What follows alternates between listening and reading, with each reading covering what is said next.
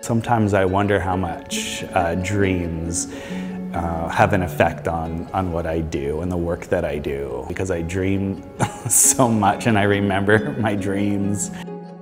My uh, work is mostly founded in the world of pattern and decoration, but also the natural world as well. I started to experiment with collage just by looking at all the work I had lying around in my studio.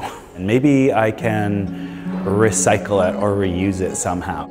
I realized I'd have to cut up some artwork. You know, do I want to start destroying my work? But then when you start cutting it up and then it becomes something new and I thought, oh, well, now we're going someplace.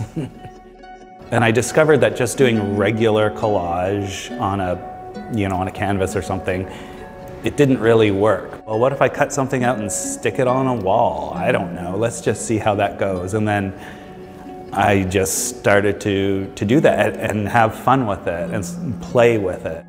You know, you always feel like there's a hierarchy in the arts. You know, something that's serious and academic is more valued than something that's decorative and um, joyful.